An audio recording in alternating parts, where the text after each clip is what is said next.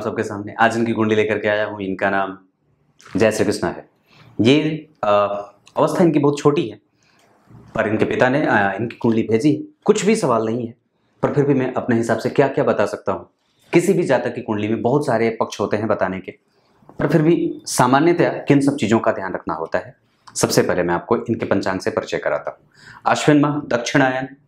अश्विन माह में जन्मे होने के कारण व्यक्ति आरंभ से ही तकलीफों से मुक्त होता है। और उसके सबसे अच्छी बात ये होती है उसमें कि वो कभी भी कंफ्यूज नहीं होता है। ये पहली बात। दक्षिणायन में जन्मे होने से आत्मबल थोड़ा सा कन्फ्यूज़न में होता है। मतलब यहाँ पे पापा ग्रहों का प्रभाव थोड़ा कमज़ोर हो जाएगा। आ, बढ़ जाएगा शुभ ग्रहों का प्रभाव थोड़ा कमज़ोर हो जाएगा। यहाँ लेकिन यहाँ चंद्रमा ठीक हो जाएँगे मतलब अच्छे हो जाएँगे। शरद ऋतु में जन्मे होने से व्यक्ति स्वयं के काम के लिए जब वो खुद का काम कोई भी करने चलेगा तो थोड़ा आलस ही होता है। शुक्ल पक्ष में जन्मे होने से और अष्टमी तिथि के चंद्रमा बिल्कुल ही पॉजिटिव हैं और ये अच्छे कहे जाएँगे। इसका मतलब है कि व्यक्ति सरकार से और पिता से लाभ प्राप्त कर लेगा। बुधवार के जन्मे होने से तार्किक, समझदार और साहसी होगा। ये आगे भी बताऊँगा कि ये कैसे और भी ज़्यादा बढ़ेगा। उत्तराषाढ़ा नक्षत्र और सुकर्मा योग, ये बहुत अच्छा। बौकर्ण और वैश्यवर्ण और मनुष्य गण के जन्मे हैं। अगर आपका भी जन्म वैश्यवर्ण में है, इसका मतलब है कि आप राजसिक हैं और राजसिक जीवन पे आपका फोकस ज़्यादा रहता है। इसका अर्थ एक और भी निकलता है कि यहाँ पे व्यक्ति जो है वो थोड़ा थोड़ा जो है वो कंपेरेटिवली काम करता है, दूसरों को देख करके अपना जो है वो अपनी रणनीति बनाता है और तय करता है। शुरू करते हैं अब इनकी कुंडली पे मैं लेके आता हूँ। पंचांग में सबसे अच्छी बात है इनकी कुंडली का चंद्रमा और बुधवार का जन्मा होना। दूसरे नंबर पे थोड़ी सी कमज़ोरी दक्षिणायन के कारण देखने को बन सकती है। वैसे चंद्रमा अगर बहुत अच्छे बन रहे हों या फिर पापग्रह नहीं शुभग्रह बन रहे हों तो बहुत सारी चीज़ें बदल जाती हैं जो अच्छाई के लिए होती है। आइए, आपको अब कार्यक्रम पे लेके आता हूँ, जहाँ मैं इनकी कुंडली में सबसे पहले बता दूँ। लग्न को देखिए, लग्न जो है वो बना है 24 डिग्री का। बहुत अच्छा 24 डिग्री के लग्न में 24 डिग्री पाँच कला, भरणी नक्षत्र का ये जो नक्षत्र होगा, इसमें भरणी नक्षत्र के अधिपति शुक्र जो है वो अष्टम भाव में बैठे हैं, केतु के साथ अनुराधा नक्षत्र में, यानी कि भरणी नक्षत्र, जो लग्न का अधिपति बना, वो मंगल, वो छठवें में, और जिस नक्षत्र में जातक का जन्म हुआ है, उस नक्षत्र के जो अधिपति हैं शुक्र, वो अष्टम में बैठे। शुक्र, राहु और केतु के संपर्क में जिसपे किसी भी शुभ ग्रह का कोई प्रभाव नहीं। लग्न लग्न के अधिपति मंगल जिसपे गुरु की दृष्टि जा रही है बुद्ध और मंगल एक साथ बैठे हैं, सूर्य भी उनके साथ उनका सहयोग कर रहे हैं। यहाँ पे मंगल और बुद्ध के साथ दो दो पाप ग्रहों के संपर्क में आकर के बुद्ध भी पापग्रह हो जाएँगे। इसका मतलब है कि इस संपूर्ण भाव का एक फलादेश जो ये होगा कि व्यक्ति साहसिक, बुद्धिमान और निर्डर, निडर होकर के, निर्भीकता से अपने काम को करने वाला और प्रतियोगिता में विजेता होने वाला, खेल की भूमिका से युक्त, खेल की भावना से प्रेरित प्रतियोगिता में सबको हरा करके खुद विजेता बनने वाला और खेल की भावना से राजनीति से युक्त होकर के अपने जीवन में हमेशा ही सफल होने का जैसे उसने ठेका ले रखा हो, वैसा हो जाता है। घूस करके, मार करके निकल जाए और किसी की हिम्मत नहीं होगी। मैं एक बात आप लोगों को कहता हूँ, यहाँ रोक करके। दरअसल हमारे अंदर का जो डर है, वो सिर्फ़ इसलिए सामने हो जाता है या फिर हम इसलिए डर जाते हैं कि हमारे पास हमारा कोई बल नहीं होता और हमारे पास बल किसी हथियार या गोला बारूद से नहीं होती। हमारे पास हमारा बल हमारे सूर्य की आराधना से होती। है हमारा बल हमारे संस्कारों से जैसे ही हम छूट जाते हैं, हम अपने माता पिता से जैसे ही छूट जाते हैं, हमारे पास हमारे सत्कर्मों का बल जब जैसे ही खत्म होने लगता है तो हम उतावलेपन से युक्त होकर के कई बार कुछ भी बोल जाते हैं जिसका खामियाजा हमें भुगतना पड़ता है। इस वजह से हमेशा ही अपने आप को मज़बूत बनाते रहिए। कैसे? सत्य की जो है वो पारछाई हमेशा पड़नी चाहिए। मतलब आपके आसपास की जो दीवार है, वो सत्य वाली होनी चाहिए। असत्य वाली दीवार ढह जाती है और उसकी जब पारछाई आपके ऊपर पड़ेगी तो आप जल्दी ही ढह जाएँगे। ये बात हमेशा याद रखने वाली है। ये व्यक्ति हमेशा ही शुद्धत्व को प्राप्त करने वाला, लेकिन पेट का रोगी हो सकता है, हड्डी का रोगी हो सकता है, रक्त का रोगी हो सकता है। और शुक्र राहु केतु के संपर्क में है, वृश्चिक राशि तो गैस्ट्रिक पेशेंट भी हो सकता है। यहाँ ये भाव बहुत अच्छा बनेगा, जो व्यक्ति को कभी भी किसी से हारने नहीं देगा और हमेशा ही उसके पास चौगुना बल बना रहेगा। गुरु की दृष्टि से इस भाव को और भी ज़्यादा मजबूती मिलेगी और निसंदेह ये अच्छी बात होगी। भरणी नक्षत्र के चौथे चरण का जन्म होगा, जिसके अधिपति हो जाएँगे मंगल। मतलब लग्न के अधिपति मंगल, नक्षत्र बना भरणी का, जिसके अधिपति शुक्र और चरण के अधिपति बनेंगे स्वयं मंगल वापस। यानी कि मंगल का प्रभाव लग्न पे ज़्यादा होगा। और मंगल दृष्टिपात भी कर रहे हैं। मंगल की चौथी दृष्टि धर्म के लिए बहुत ज़्यादा बेहतर। व्यक्ति को लाभान्वित करने वाली। वहीं सातवीं दृष्टि विदेश भाव पे तो व्यक्ति की कुंडली में कई बार व्यक्ति किसी से भी डरने वाला नहीं और हमेशा ही सबको निस्तनाबुद्ध करने वाला होता है। और वहीं आठवीं दृष्टि जन्म कुंडली में अपनी ही राशि में पड़ेगी तो व्यक्ति को ऊर्जावान और प्रतिस्पर्धा से युक्त होकर के व्यक्ति को निडर बना करके आगे एकदम एकदम ज़बरदस्त बना दे। मंगल और शुक्र दोनों बहुत अच्छे मित्र नहीं होते पर समता का संबंध होता है, इस वजह से मंगल की दशा और शुक्र की दशा व्यक्ति के जीवन में अच्छी जाएगी। अब एक बात और कहता हूँ। इस नक्षत्र का प्रभाव जातक को कैसे प्रभावित करेगा? जब इस सवाल का उत्तर आप ढूंढेंगे तो शुक्र से जो लोग प्रभावित होते हैं या फिर वृषभ लग्न या फिर इसको भी ऐसे नहीं कह सकता, वृषभ लग्न का तो नहीं कह सकता। जब भरणी नक्षत्र में व्यक्ति जन्म हो जाता है, उस तो भरणी नक्षत्र में जन्मे होने या फिर उसके प्रभाव से व्यक्ति रिज़र्व नेचर का हो जाता है। मतलब वो अपने आप में मशगूल, मस्त और शांत रहने वाला होता है। भगवान भगवान की भक्ति में हो या फिर अपने काम में हो, अपने काम से मतलब रखता है बहुत ज़्यादा लोगों में आवा भगत में लीन नहीं रहता, अपने आप को एकांत में एकांतवास कर लेता है, काशीवास जिसे कहते हैं। तो ये होता है। उसके बाद गुरु और चंद्रमा जन्म कुंडली में एक साथ एक दशम भाव में बैठे हैं, जहाँ पे गुरु का नीच भंग होगा शनि के कारण।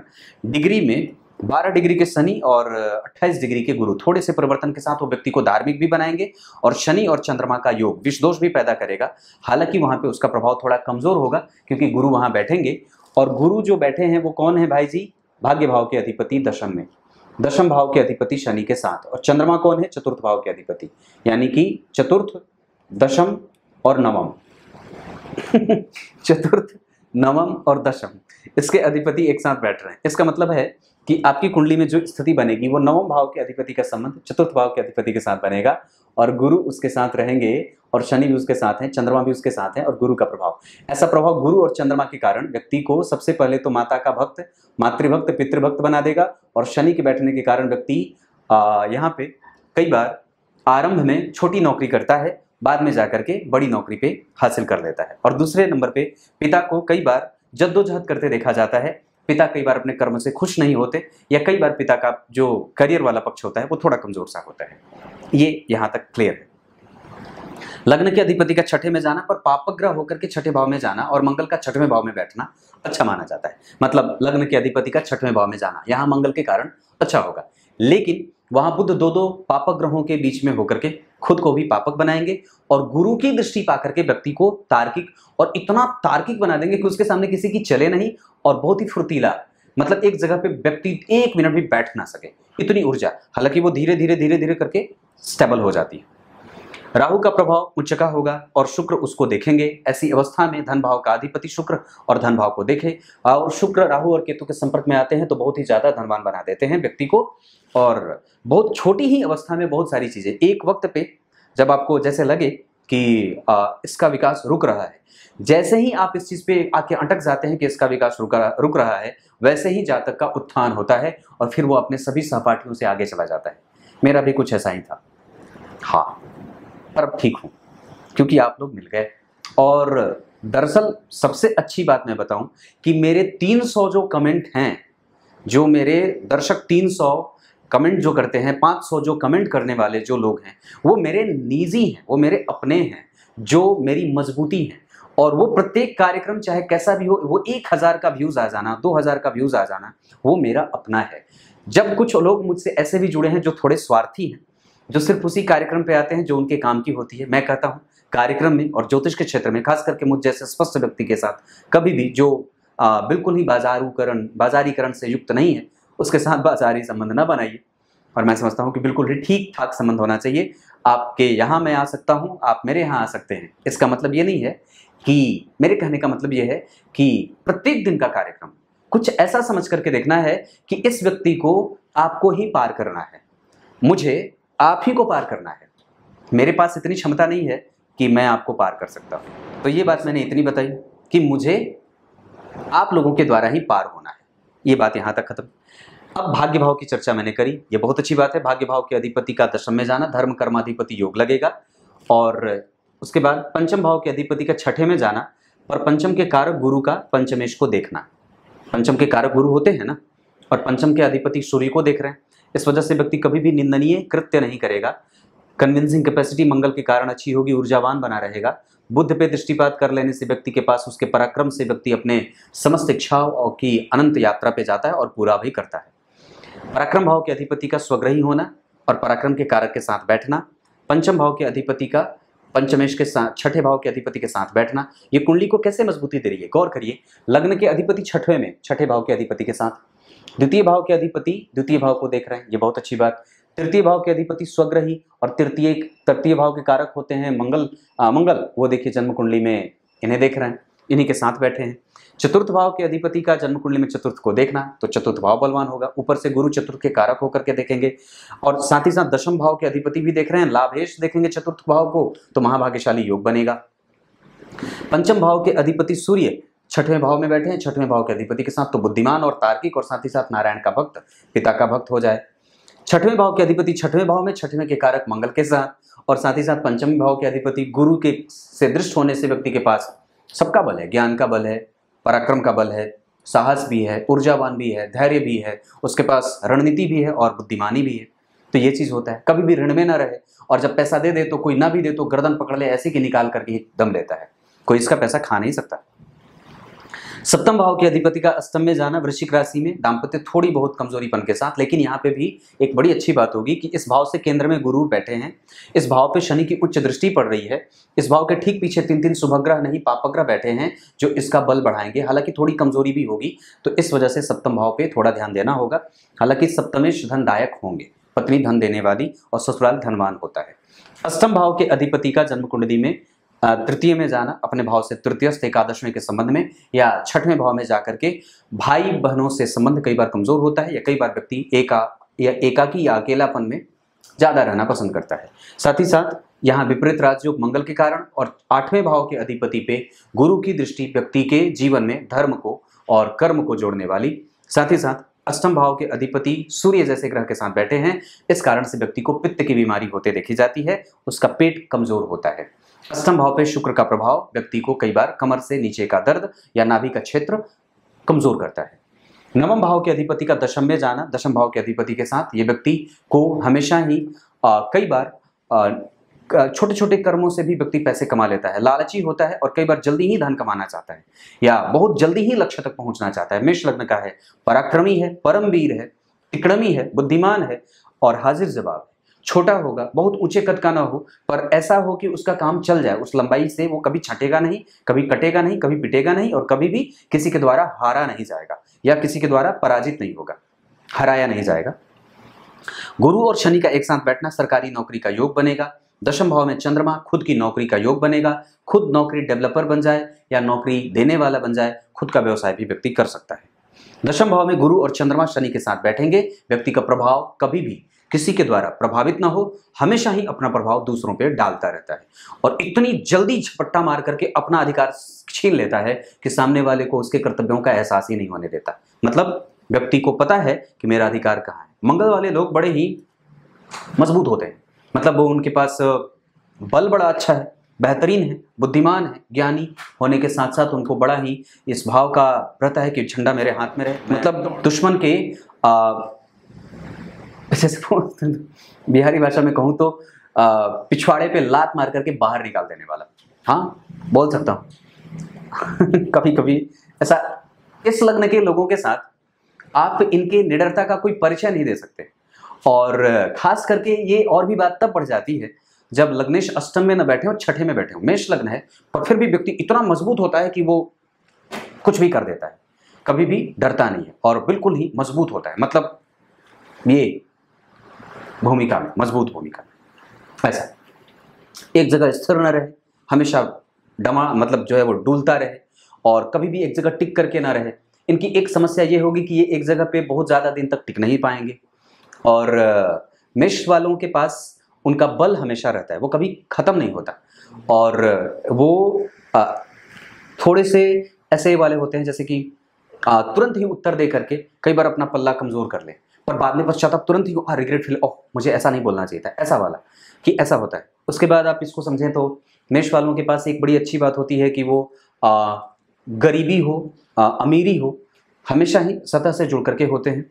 और वो चाहे कितने ही पद वाले हों और कितने ही नीचे वाले हों, उनका एक जो दम होता है, वो लेवल में होता है कि मुझे यहाँ इस स्थिति को मेंटेन करके रखना है।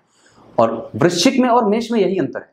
वृश्चिक वाले थोड़े से कभी कभी चालू, चालूपंथी कर देते हैं और मेष वाले कभी चालू, चालूपंथी नहीं करते। वो जो होते हैं, वो दरअसल वो जो बात कह देंगे, उससे कभी पलट नहीं सकते। और वृश्चिक वाले स्थिति के हिसाब से पलट सकते हैं। मतलब उनके पास दाव खेलने का मौका होता है। परमेश वाले जो बात कह दिए तो गोली निकल गई। अब वो वापस नहीं आ सकती। जो चीज़ पकड़ लिया, उसको छोड़ेंगे नहीं। और जिसको छोड़ दिया, उसको पकड़ेंगे नहीं। बात गलती की हो तो स्वीकार ना करें। और स्वीकार भी कर लें तो बाद में कोशिश बहुत बार यही करते हैं कि अब दोबारा ऐसा काम नहीं करूँगा। ऐसा होता है। इस चरित्र को पकड़ने की बात है, मेष वालों की। ये समझने की बात है। तो ये दशम भाव की बात एकादशवें भाव के अधिपति जन्म कुंडली में जो शनि है, वो दशम भाव में बैठे हैं, इसे महाभाग्यशाली योग कहेंगे। और दरअसल वो चतुर्थ भाव के अधिपति के साथ बैठे हैं, नवम भाव के अधिपति के साथ बैठे हैं तो यहाँ पे महाभाग्यशाली योग का निर्माण होगा, जो जातक को बड़ा ही बेहतर और बड़ा ही स्पष्ट बना देगा। सरकारी नौकरी के योग इनकी कुंडली में है, पहले व्यक्ति को जो पिता करते आए हों, वो कर लेना चाहिए, जो इनके पूर्वज करते आए हों, वो कर लेना चाहिए, और व्यक्ति को सरकार से जुड़ करके काम करने का प्रभाव विकसित करना चाहिए। इनकी कुंडली में इनका साहस, इनकी कुंडली में इनका पराक्रम इनकी कुंडली में इनका बल, इनकी कुंडली में इनका तिकड़म, इनकी कुंडली में इनका हाजिर जवाब, इनकी कुंडली में इनका फुर्तीलापन, इनकी कुंडली में इनका अदम्य साहसी होना, ये सब भरा पड़ा है। पर कमज़ोरी, पेट कमज़ोरी, हड्डी कमज़ोरी, नाभि का क्षेत्र। ये चीज़ें, नौमांस कुंडली में सूर्य और मंगल, व्यक्ति को सरकार से जुड़ करके, सप्तम भाव के पीछे शनि नीच के, ठीक नहीं होगा, बुद्ध का बैठना धनवान बना देता है। और यहाँ पे चंद्रमा केतु के साथ, यहाँ चंद्रमा, यहाँ पे सूर्य और मंगल। यहाँ पे चंद्रमा, मंगल और केतु का प्रभाव। गुरु और चंद्रमा एक साथ पदाधिकारी, पद पे जाना, पद पे युक्त होकर के काम करना। मंगल उच्च के, सूर्य के साथ शनि स्वग्रही, ये स्थिति बहुत अच्छी होगी। कर्म क्षेत्र से व्यक्ति धन कमाएगा और उसकी वाणी और उसका प्रभाव और उसका जो प्रचार होता है, वो बहुत ही व्याप्त होता है। लोगों में इसका डर भी कायम रहता है। बुद्ध और शुक्र बारह में खर्चीला होने का स्वभाव। राहु है, व्यक्ति को घर से कई बार दूर रखता है और व्यक्ति कई बार आ, किसी भी तरीके से किसी के द्वारा ट्रैप नहीं किया जाएगा वो ट्रोल नहीं किया जाएगा। क्योंकि वो ऐसा काम ही नहीं करता है। और वो इसलिए नहीं किया जाता क्योंकि उसको पता है कि मुझे कैमरे के सामने कैसे उपस्थित होना है। आप समझ गए होंगे उसे कैमरे के सामने कैसे उपस्थित होना है उसको पता है। इनकी कुंडली में बुद्ध बड़े अच्छे हैं इनकी कुंडली में शनि बड़े अच्छे हैं इनकी कुंडली में चंद्रमा और सूर्य बड़े अच्छे हैं। और दशमांश कुंडली अच्छी बनी है। अभी तो ये जातक बहुत छोटा है, इसको संस्कार दीजिए। कम से कम गीता, कम से कम रामायण, कम से कम हनुमान चालीसा, कम से कम सूर्य का अर्घ, कम से कम मंदिर का जाना, कम से कम माता और पिता और बड़ों का आदर, कम से कम गुरुजनों का आदर, कम से कम संस्कार, बहुत ज़्यादा मामले में मंदिर का जाना और गुरुजनों का प्रभाव विकसित करना, किसी पे भी किसी भी तरीके से बदतमीजी ना करने का प्रभाव रहे, क्योंकि ये ऐसा कर सकता है, ऐसा कभी कभी होगा, क्योंकि मेष वाले हैं कभी कभी बढ़ जाते हैं। कुछ इसी तरीके से आज के कार्यक्रम का समापन करते हैं। तब तक के लिए बहुत बहुत नमस्कार।